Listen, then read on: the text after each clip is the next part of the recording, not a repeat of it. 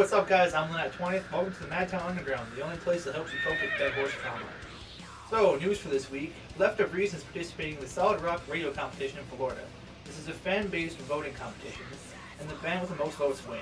So let's get some Madison Pride up in there and help them get a recording contract or at least spread their name.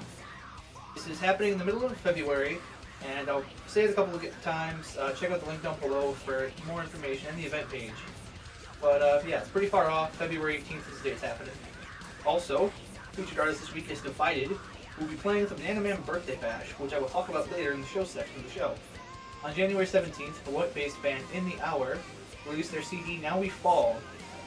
As of now, it is only available through them at their shows, but it's a good reason to go check them out. Amor Emarta has announced they've officially finished recording their first single from their upcoming release, and are waiting for it to be finished mixing before they can release it. More details on that as it arrives.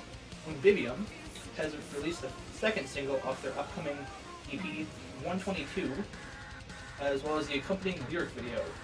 The song is called Perilous Progress. I'm posting it up right there. Go check it out. Pretty sweet. I've also heard that they have some other sort of video in the works for another song, but I'm not quite sure. Wednesday, January 29th, Amy Lynn and the Gun Show take stage at Frequency. 18 and up event, about $7 to get in. Go check it out. Friday, January 31st, Left of Reason heads back to Mike's Roadhouse in South Beloit, Illinois. Special guests to be determined, but go check them out if you're in the area. Also on Friday, the first annual Banana Man Birthday Bash with Divyded and Friends. Lineup includes Divyded, Breach, Lords of the Trident, and Romantic Rebel. Come check it out. I'll be there with some friends, causing trouble, maybe even get some interviews. Saturday, February 1st, Pretty Puppets, The Alley Plot, Wolf Snout, and Mass will take the stage at Ziggy's Corner Pub in Fond du Lac, Wisconsin. If you're in that area, go check them out.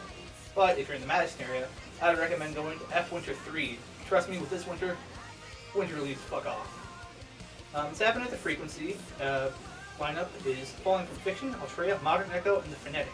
Once again, I'll be there with some friends, getting some interviews, checking out the bands, so come say hi and come definitely enjoy the bands. That's it for shows this week. Clear your calendars next week for the RAW Awakening event at the High Noon Saloon. Uh, this event is the first in a national tour which spotlights local artists, musicians, and all kinds of other art. Hairstylists, makeup stylists, local music, and local painters and sculptors. You should definitely come check it out. It's a cocktail attire event. And uh, my friends in Ultrea will be playing. That's it for this week with the Load on the Underground. I'm Lap 20th, and I'll see you next Monday for more local music and news.